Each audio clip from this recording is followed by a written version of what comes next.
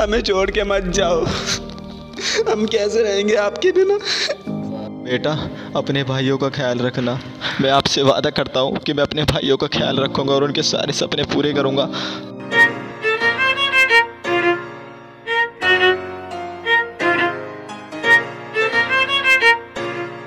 रात देखे ना दिन देखे माटी गेलिया माटी मारा काम से।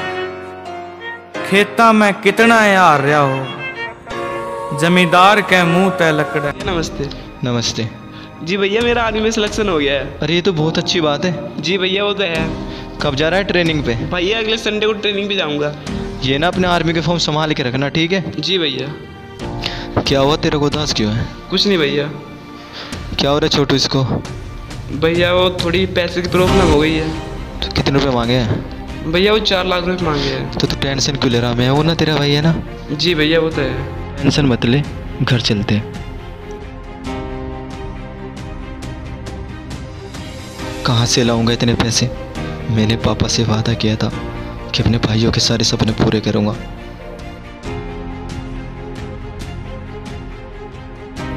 घर और ज़मीन के कागजात हैं।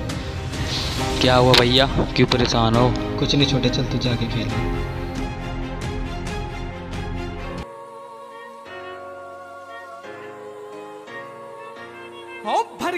घर चमका गे लीडरी किसको लेके आया रे? देते हूँ भर जमींदार पाए ना। साहब इसको चार लाख रुपए की ज़रूरत है। सरकार मारे आज भी हालात गिरवी रखने लिए कुछ है इसके पास? एक गिरवी रखने के लिए ज़मीन के कागज़ लाया है। कर साहूकार का। फिर पैसे कर पैसे कर साहूकार का। फिर पैसे कर साहूकार बहुत बहुत शुक्रिया साहब।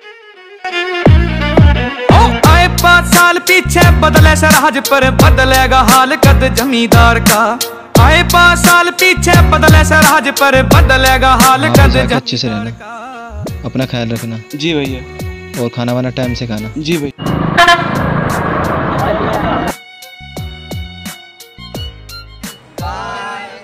ओ बहुत डिफरेंट हेलो हेलो। जी भैया आप बताओ आप सब ठीक है घर पे? और ट्रेनिंग कैसी चल रही है तेरी? जी भैया ट्रेनिंग तो सही चल रही है। आप बताइए।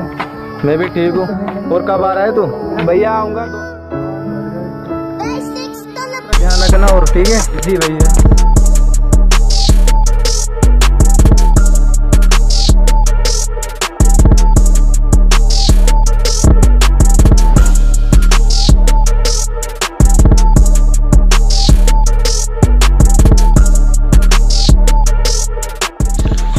पैसों का बंदोबस्त हुआ। साहब थोड़ा सा और टाइम चाहिए। और कितना टाइम चाहिए तेरे को? साहब थोड़ा सा टाइम और दे दो बस। समझ में नहीं आ रही तेरे को? किसान अब तो तू अपने खेत भूल ही जा।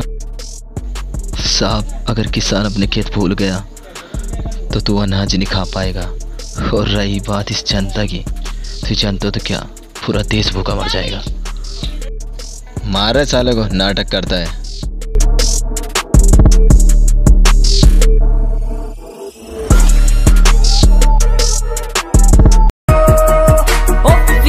प्राउड इंडियन आर्मी जंग के मैदान में कदे ना हार दे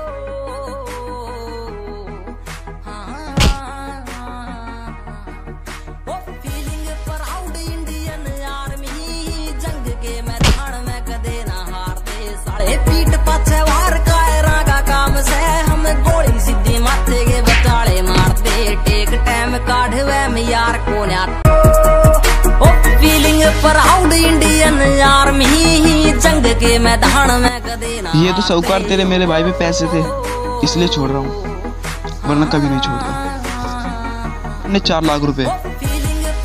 इंडियन आर्मी जंग के मैदान में कदे ना दिल से प्रणाम बापू तने। जो इन गोरी चंडी वालों से मेरे देश को बचाया और बापू कैसे भूल जाता तेरा जन्मदिन? इस दो अक्टूबर को जो दिल में बसाया और happy birthday Bapu. Salute